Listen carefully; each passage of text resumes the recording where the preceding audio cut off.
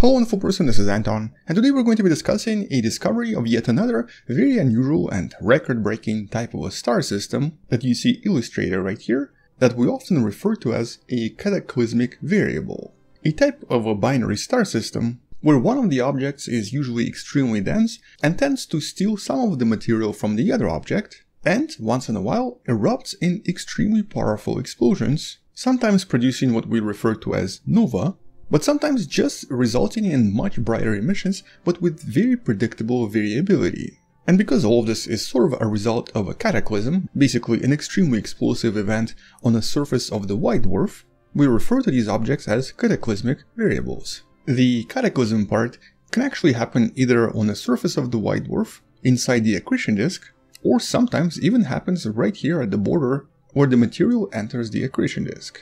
But that's a very general description of what these objects are. Because in reality they do have quite a lot of variability within them. Some of them have a white dwarf and a relatively large star, some of them will have a white dwarf and a star that seems to actually possess white dwarf-like qualities, and some of them seem to actually have stars that are very different from anything else we observe out there.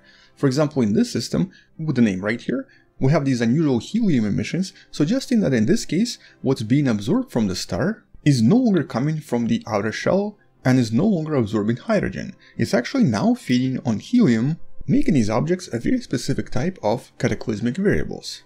Today the scientists refer to them as helium CVs, or helium cataclysmic variables. And for some reason, a lot of these helium-rich cataclysmic variables will also usually have much shorter orbits, with some of these objects only taking a few hours to orbit around one another, whereas the ones containing hydrogen will often take much much longer. And so at first the scientists weren't really sure how to explain this, but eventually it kind of came to them. They basically realized that it's essentially just part of an evolution of a typical cataclysmic variable. All of this starts as a typical binary system, and there are quite a lot of these in the galaxy, with one maybe a little bit more massive than the other. The more massive star is going to be evolving much quicker and is going to go through its red giant stage, eventually causing the other star to approach it a little bit closer, but also turning into a white dwarf, which is the fate of most of the sun-like stars.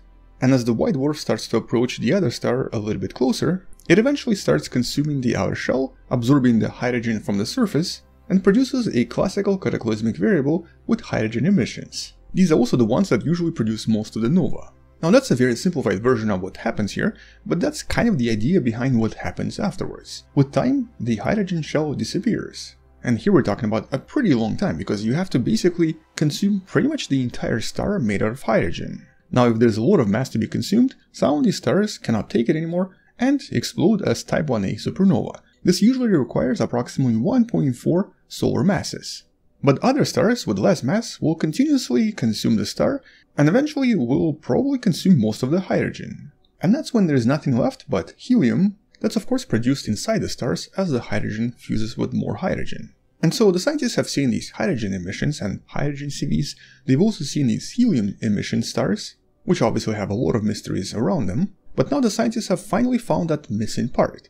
They've discovered a really unusual cataclysmic variable that seems to be a record holder for the fastest orbit of the stars, but also seems to be that missing transition stage. The transition stage between the star consuming hydrogen and then consuming only helium. In this new study that you can find in the description below, the scientists discovered a very unusual binary system, located about 3000 light years away from us, that also already has its own Wikipedia page, that basically orbits around its partner every 51 minutes, and that is so far the record. The scientists have never seen such short orbits around typical stars. The previous record holder I think was just over an hour. But more importantly, this particular object also seems to be a transition stage. A transition stage when the white dwarf stops consuming hydrogen and is now slowly switching to consuming helium. But in this case, both objects are actually super super unique as well, making this a unique object out of approximately a thousand or so CVs the scientists have already discovered.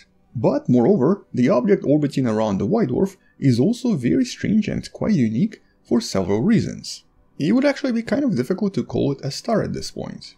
And that's because it's sort of turned into this unusual helium star that's much much smaller than our sun in size, and is a lot closer in size to a typical low mass star, or actually even closer to Jupiter. And though it's about the same temperature as our Sun, over 5000 degrees Celsius, it currently only possesses about one tenth of the mass of the Sun inside the size of a planet like Jupiter. And that's of course because the mass that used to exist here was now absorbed by its partner, which in the process exposed the core of the star and made the star shrink even more, making it extremely dense. And because the scientists were able to observe both hydrogen and helium, as well as some other things like calcium, being absorbed by its partner, it suggests to the scientists that they finally found that missing link. The link between a hydrogen CV and a helium CV, with the white dwarf being just a little bit over half of the mass of our sun, which suggests that it's probably not going to go supernova even when it finishes consuming the partner. Although I guess that's the next question.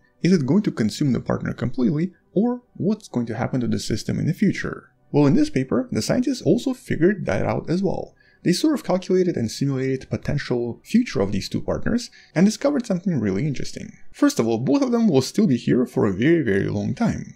The white dwarf is going to continuously absorb its partner, with the partner growing denser and denser over time. And so even though currently it's already approximately 100 times denser than our sun, it's going to become even more compact as more and more hydrogen is absorbed and more helium is left behind. Which also means that it's going to be decreasing in size over time, but at the same time approaching its partner even more, with their orbits eventually shrinking to roughly around 18 minutes per orbit. Although in this case the scientists suggest that it's going to take approximately 70 million years for all of this to finalize. When it does occur though, this is officially going to be a helium cataclysmic variable, many of which have already been discovered before, with more helium absorbed in the process. But after this, for approximately 300 million years, they're actually slowly going to start moving apart. This graph right here kind of shows us what's probably going to happen.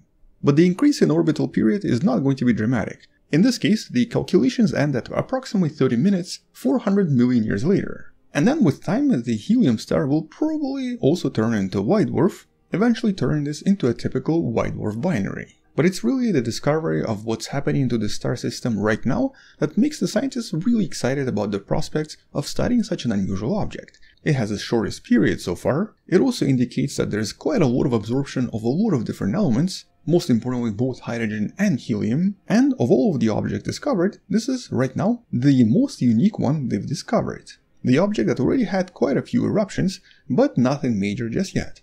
And so once it actually has something major happening around the accretion disk of the white dwarf, that's where we're probably going to be hearing more about this, because more discoveries are going to be made coming from this unusual system. But I guess until future discoveries, well, that's pretty much it. A pretty exciting discovery for scientists studying white dwarfs and of course cataclysmic variables or nova, and a pretty exciting record holder that seems to have the shortest orbit of two stars. On that note, once we find something else, I'll make sure to follow this up with another video. Thank you for watching, subscribe, check out all the relevant links in the description below, maybe support this channel on Patreon by joining channel membership or by buying the Wonderful Person t-shirt you can find in the description, and either way, stay wonderful, I'll see you tomorrow, and as always, bye bye.